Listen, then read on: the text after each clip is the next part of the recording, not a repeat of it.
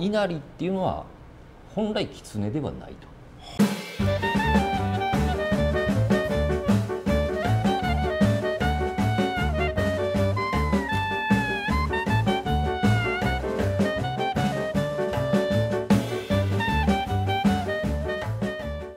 どうもオカルトコレクター田中俊之です。どうも元火葬場職員の下駄花尾です。あのお稲荷さん。いやー。いやダチョウ倶楽部や。そうやっぱあのちょっと好きやったから。ちょっとな。で何？お稲荷さんってあれうん。お稲荷さんでイメージするもんって何？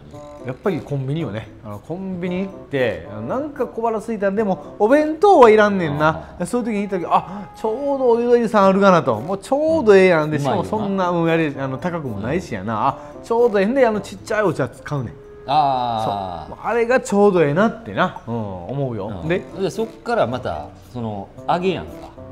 揚げ？揚げをこう巻いてるやんお稲荷さん巻いてる巻いてる。お稲荷さんやからね。からイメージするもん何って言ったらやっぱうどんやわな。うどんのなお揚げさんがあの特にどん兵衛のやつ。どん兵衛はジどんューシーな兵衛のあのあれはもう最高やな本当に。ね甘いしな。甘い。美味しいどんね兵衛マジでうまい。せやろ。んで深夜に食うやつな。そうそうそうそでそうのどん兵衛の揚げからイメージするもんな。きつねやな。でもお稲荷さんって言ったらもうきつねやろ。あそっか。あごめんごめんごめん。すぐ飯腹減ってるやろ。腹減ってるよ腹減ってるよ。いやいやそうやろ。あのお稲荷さんってうきつねやん。んきつねやね。でもなこれもともと違うのよ。あそうなお稲の荷さんってきつねではないんよこれ。ほもともとは、うまあ、稲う、うん、の精霊のことや。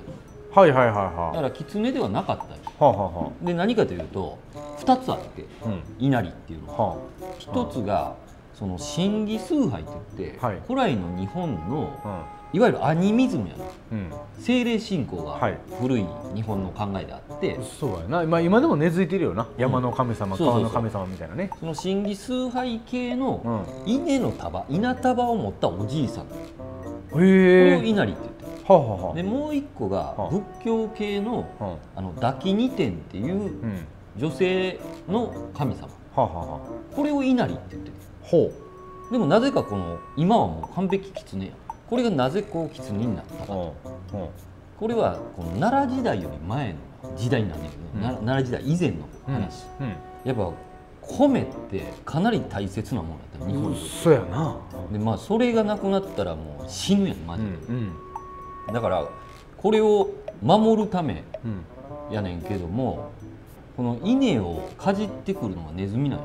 うん。でこのネズミを駆除するのが狐やってうん狐がそのネズミを駆除することでその最初にあったこの稲のおじいさんとかその抱き二天から稲の神様としてそこから狐になっていく。んだもともとは違うの全然。へえ。だからさ吉野ヶ里遺跡弥生時代とかあの米からネズミを守るためにさ、うん。高高床式、あうんしてなんかこう返しじゃないけど。そうそうネズミ返しそうやんな。作るぐらいや。ん、うん。だから相当大切にしてたものを、うんうん。あの狐が守ってくれたっていうことで稲を守ることではなえっ、とな岬神っていう神、は神使い。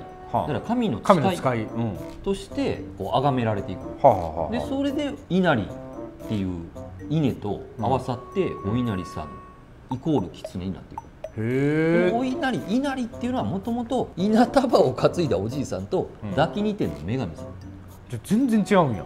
そう。でネズミを駆除するって俺らがパッと思いつくんって猫やん、そう。あの魔女狩りの時や。うん。あ猫やねんけど日本に猫が来たんって、奈良時代ぐらいやああじゃあその前は狐なん。だから仏教の経典とともにうん。その本をまたネズミがかじるからってことで猫が来てんねうん。んでうん。猫退治になっていくっていう。あそうなんや。稲荷っていうのは本来狐ではないと。はいうことですね。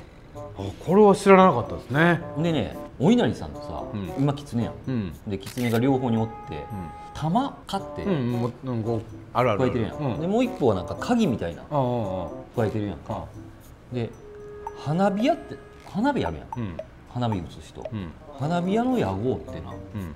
玉屋とか鍵屋っていうね、ああ玉屋っていうもんね。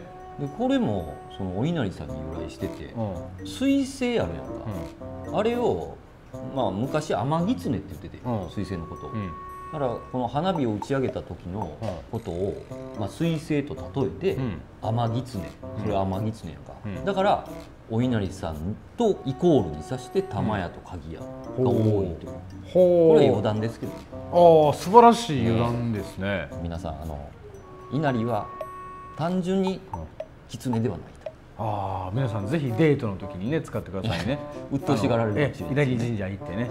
今の話をしたらあいやすごいなとは思われるけどなんかこいつ大丈夫かとも思われる。そのギリギリのラインを狙って皆さんあのうまいことを、えーぜひデートを成功させて、えーくださいね、はい。えー今日も、えー田中、えー、俊之名誉教授ねやっぱえー工業高校卒なんで、あありがとうございます。テリが揃ってましたね僕の高校は、素晴らしいですよね、本当にね、ええ素晴らしいですよあの上島竜兵さんも先輩でいましたから、あそうやね。そうやイね。ンテリが揃ってましたから。あーありがとうございました。ということで本日もご視聴ありがとうございました